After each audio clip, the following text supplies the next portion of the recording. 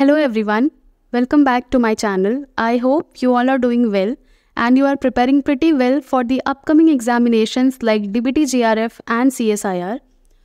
So in today's video, we're gonna discuss some of the important last minute strategies like tips and tricks that how you can make the best use of the last 20 to 22 days so that you can score more than 70% in the DBT GRF examinations so you can crack this DBT 2024 with all of your efforts and with all of your hard work. So stay tuned and अगर आपको आज का video अच्छा लगा हो so hit the like button and subscribe my channel for more such videos. Before starting this video, let me clear a very important point that I am not endorsing that you can crack this exam in just 20 days. Instead, I am just here to tell you all that how you can best use of your last 20 days or just 15 days so that you can make best use of I'm here to mention that how you can best use of these last 15 to 20 days so you can get more out of it. Uh, instead of stressing and disheartening yourself watch this video and get set and go to crack the DBT GRF examination. I will just give you some tips and tricks that how you can use this last days so that more and more you can gain from it more and more marks you can gain from this uh, study. So stay tuned.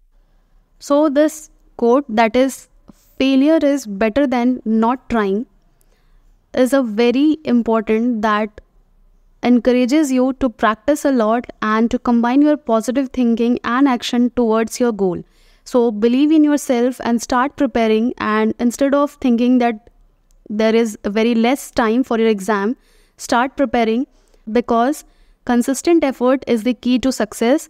So stop thinking and start believing that failure is far better than not trying. So all the very best and please watch the video till the end and start applying it to get better results.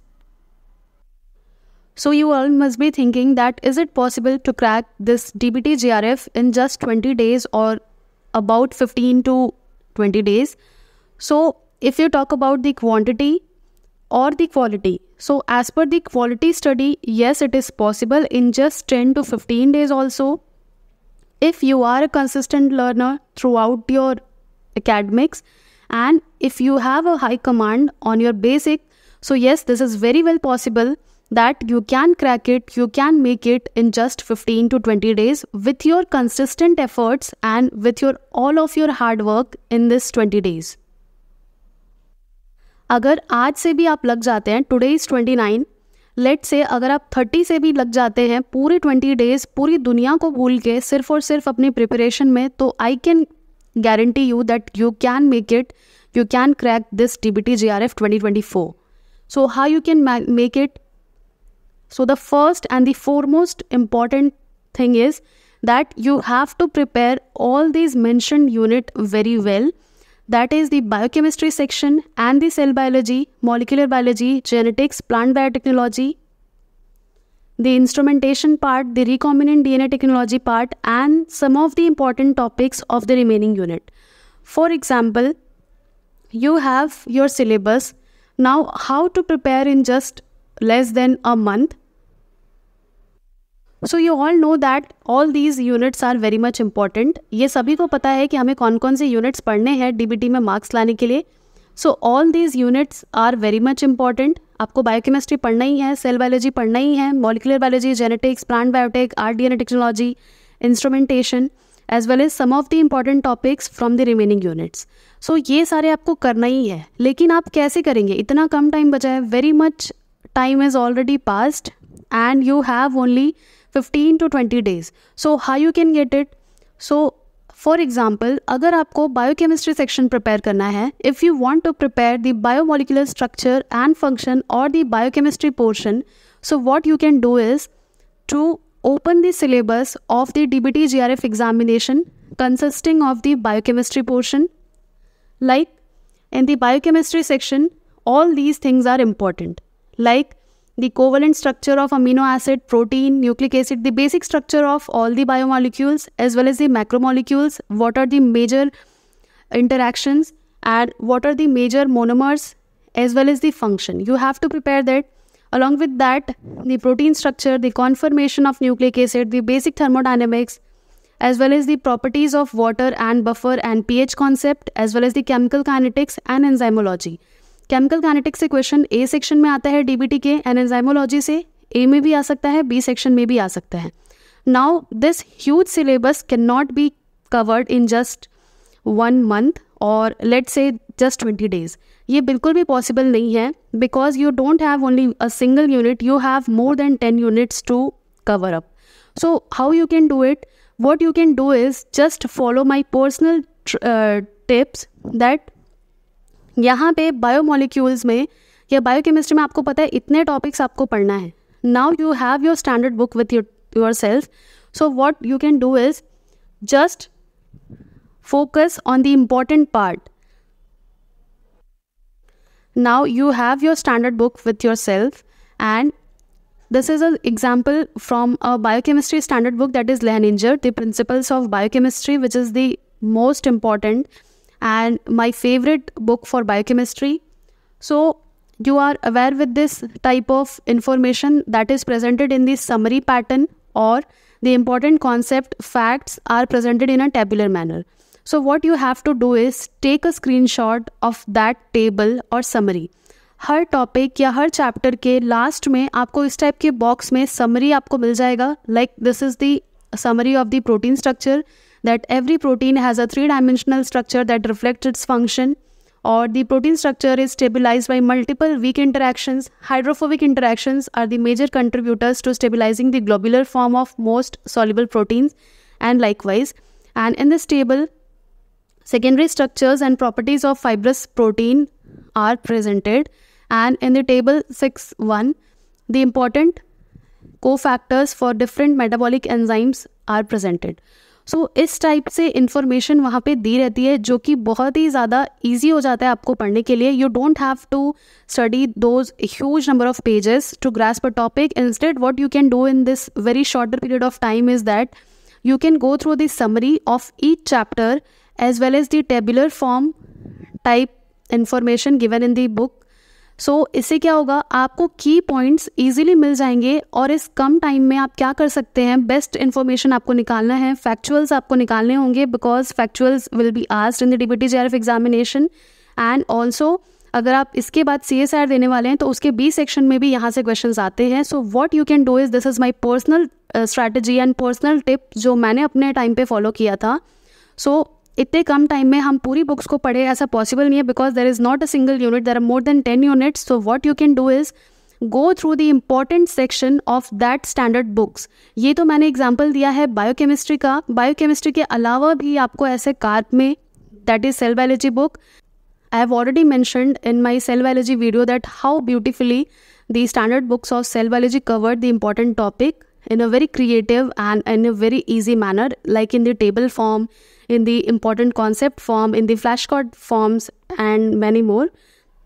So you can make the best use of all these standard books. All these standard books are basically featuring the most important topic either in the form of a diagram, either in the form of a table, or in the form of diagram. So what you have to do is you have to follow that only. आप summary देखिए आप flow chart देखिए आप diagrams देखिए आप tables देखिए हर एक इंपॉर्टेंट टॉपिक का now let me repeat now you have to do is you have to find out the most important topic from the every unit that is important for the DBT JRF examination like from the biomolecular section or the biochemistry section you must be aware that the covalent structure of all the macromolecules or the water concept or the pH concept or the conformation of the nucleic acid so go into that particular chapter and then find the most important summary points, the most important tabular form information and the most important flashcard. Revise it through the diagrams, flowchart, tables, summary and then make a short notes and revise it regularly. So this is the first strategy you have to cover all the important topics like I have mentioned in how you can manage it in very less time period. So go and extract the most important topic and list out in a book or in a notebook and then start preparing it in the way I have mentioned.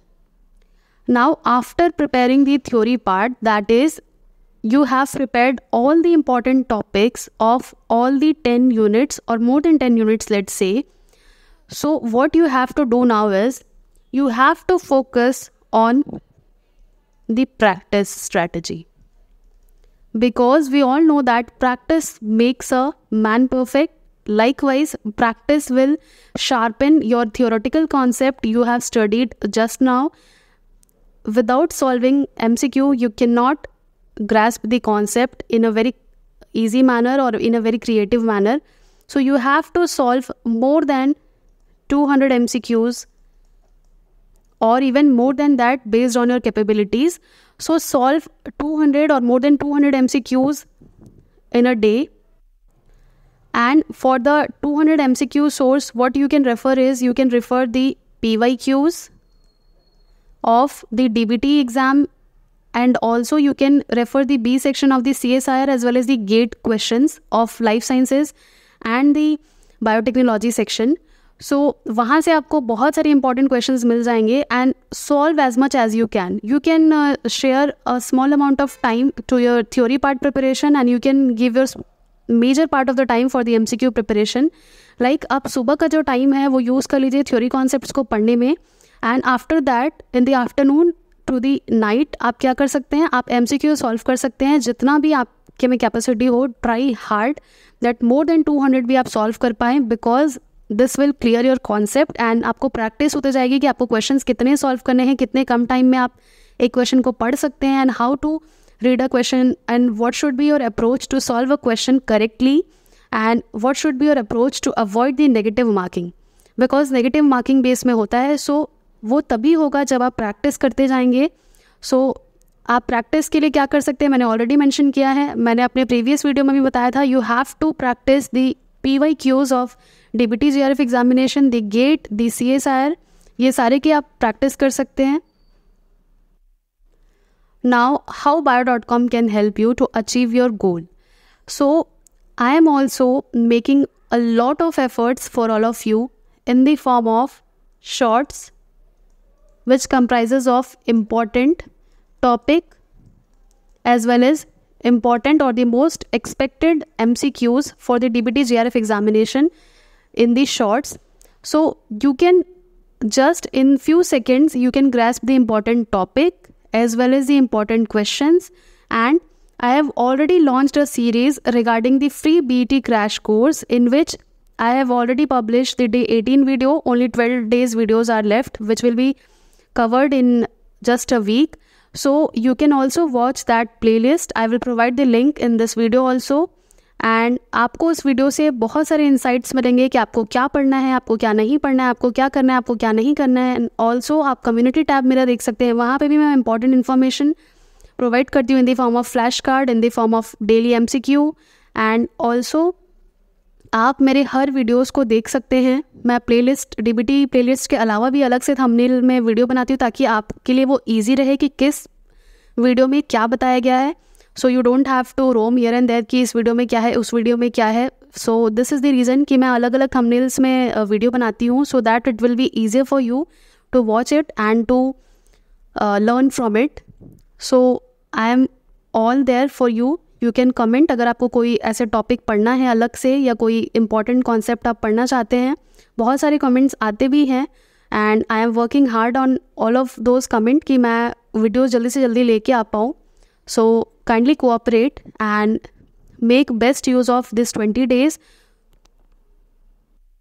Now let's summarize. What you have to do is you have to find out the most important topic from all the 10 units i have mentioned in my uh, first slide.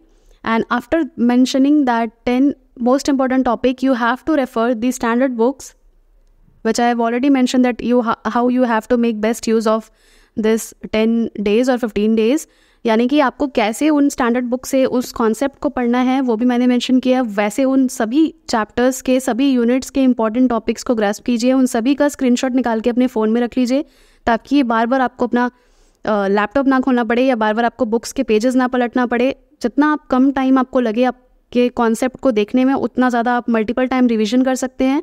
You can make a album of some of the important topic from the biochemistry molecular biology cell biology genetics ऐसे करके आप albums बना लीजिए कि genetics के ये सारे important topic एक एल्बम में।